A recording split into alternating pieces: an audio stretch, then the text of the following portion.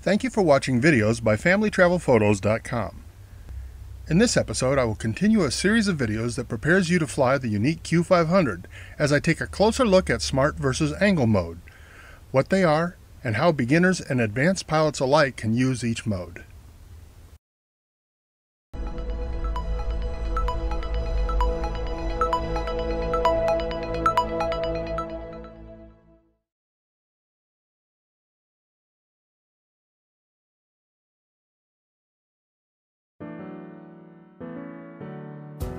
This episode is part of a series of videos designed to help you fly safely and successfully with your Q500 quadcopter.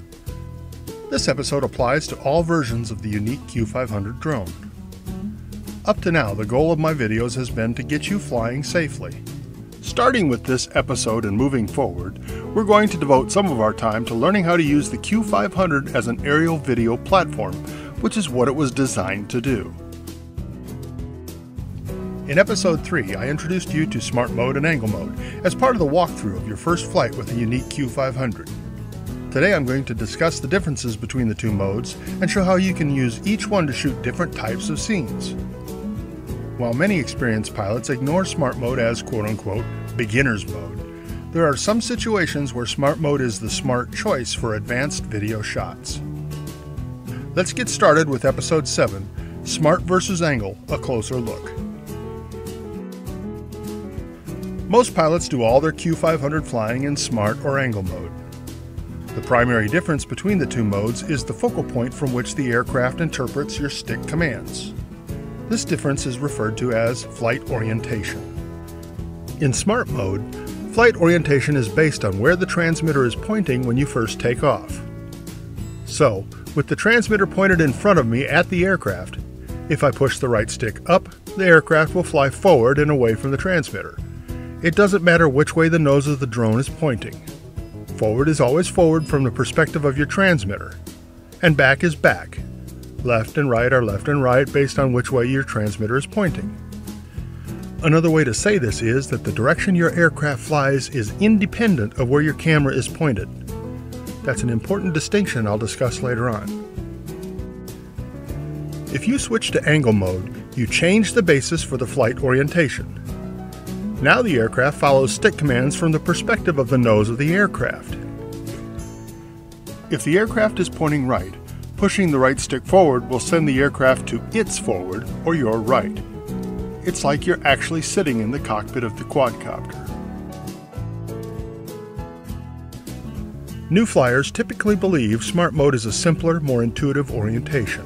When your Q500 is close to you, this makes sense theoretically. If you want the quad to go to the right, you move the stick to the right, and who cares which way the quad is pointing? That said, Smart Mode can be confusing to work with. Here's one example. Let's say my Q500 is hovering in front of me in Smart Mode. I want to fly to my right. I push the right stick to the right and off it goes. Naturally, I turn my body to the right to follow its motion. Now my original concept of forward has changed, hasn't it? Now my transmitter is pointed to the right of where it was pointed before. So what happens if I push the right stick forward? Nothing has changed for the Q500. It still goes the old way forward, which no longer matches the direction the transmitter is facing. Beginners tend to stand in one place and fly the quad in front of them, which makes smart mode very simple. Over time, as you start flying three-dimensionally and moving around as you fly, you may find this lock on the original direction of orientation to be confusing. And it gets worse. If you're in smart mode, you also have follow me engaged.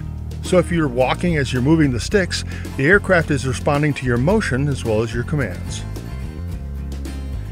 In angle mode, it doesn't matter which way the transmitter is pointed. Forward is the way the aircraft's nose is pointed, no matter what way the transmitter is aimed. But you fly in angle mode based on the direction of the aircraft, so where your transmitter is pointed isn't something you even consider. You can see that Smart Mode starts out simple, but as you improve as a pilot, Smart Mode can become even more tricky than Angle. Here's another advantage of Angle over Smart. Smart is great when you're close, but now let's fly downfield.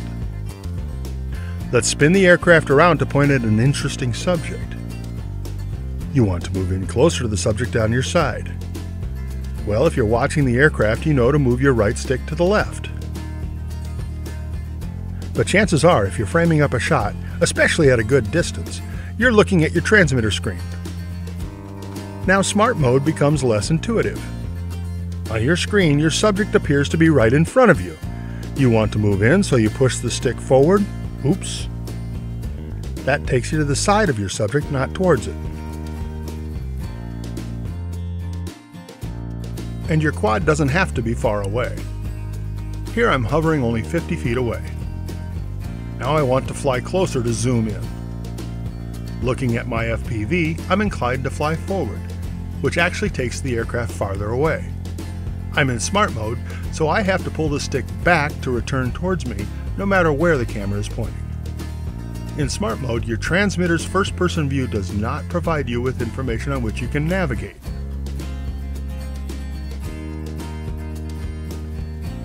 Let's replay this scenario in angle. You push the quad down range by moving the right stick forward.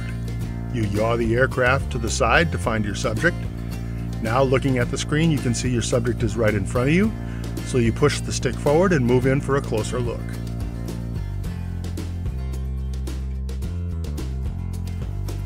The further away your quad is, the more you rely on your transmitter screen for maneuvering your aircraft. At 1,000 feet you can still see your Q500, but recognizing which way it's pointing isn't as easy.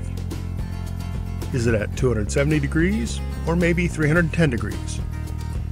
At that distance, you rely heavily on the camera's view, which is first person view, to see exactly where you're pointed.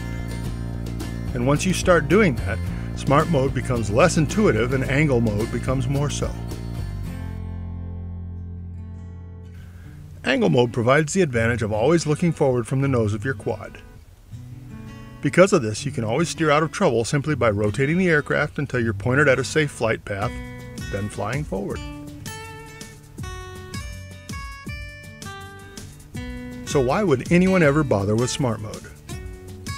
Well, this type of orientation has some advantages over angle as well. I've already mentioned the first advantage. For beginners, Smart Mode is usually easier to understand than angle.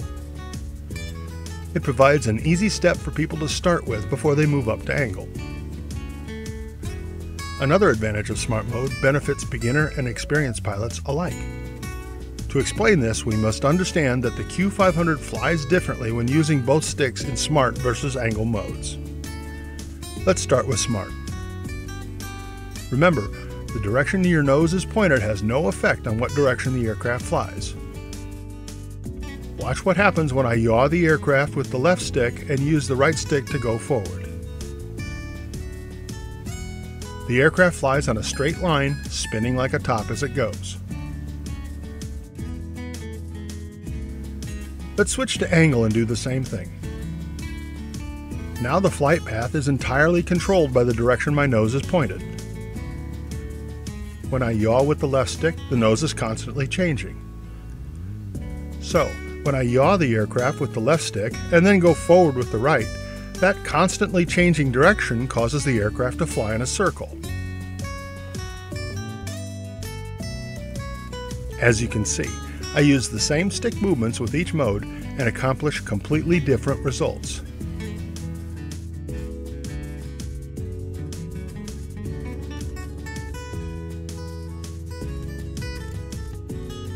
And this all goes back to a point I made earlier. Thinking as a photographer rather than a pilot, in smart mode, the direction of flight is independent of where the camera is pointing.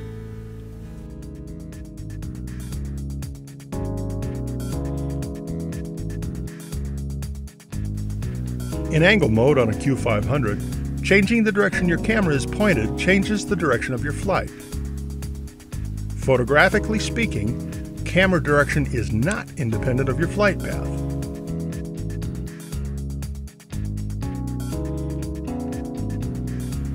This means that as a photographer, you can use the unique characteristics of each mode and enjoy different capabilities to expand the creativity of your shooting.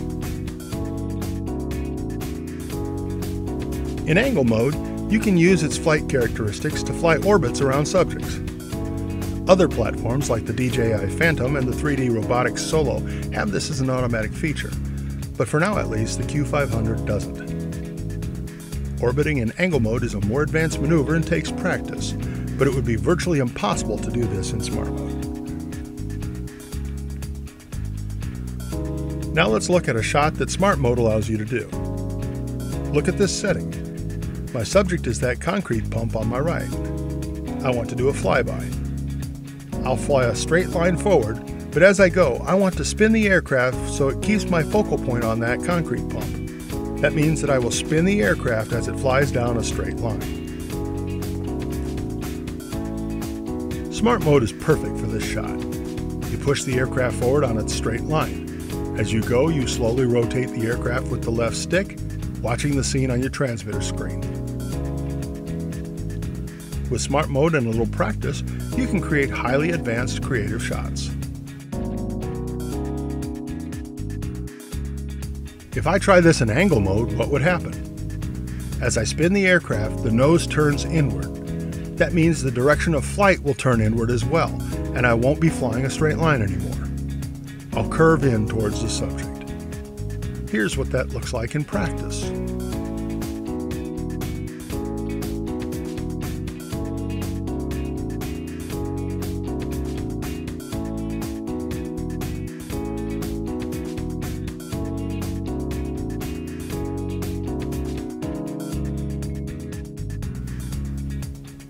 Here's an example of how the angle mode can be used in this type of shot.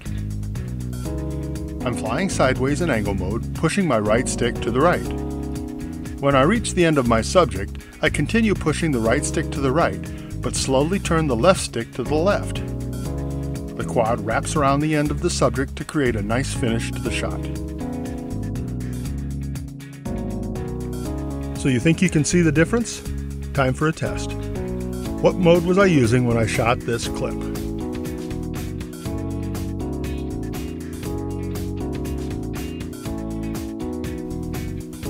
If you guessed angle, you guessed right. Here's a rotating flyby of the same building in smart mode.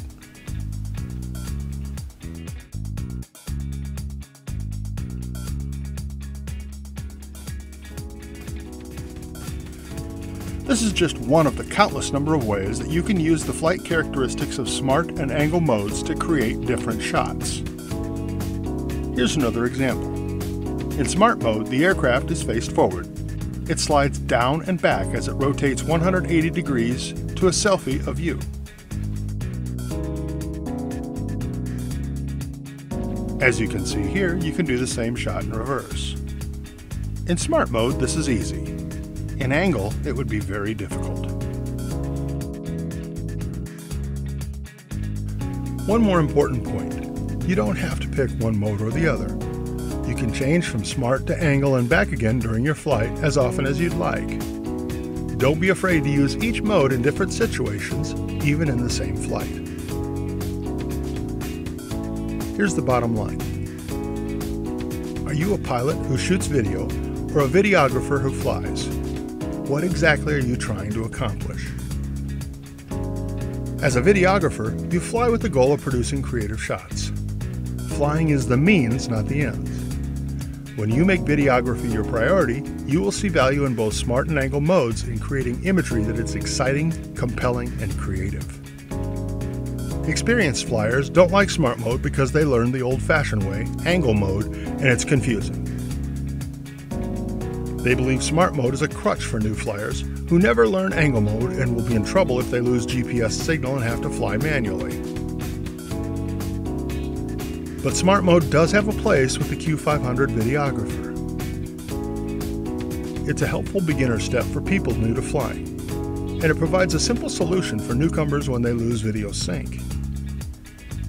But smart mode is a legitimate tool for even the most advanced flyers if you're serious about your videography, you'll find that Smart Mode is a valuable tool that expands the exciting images you can create.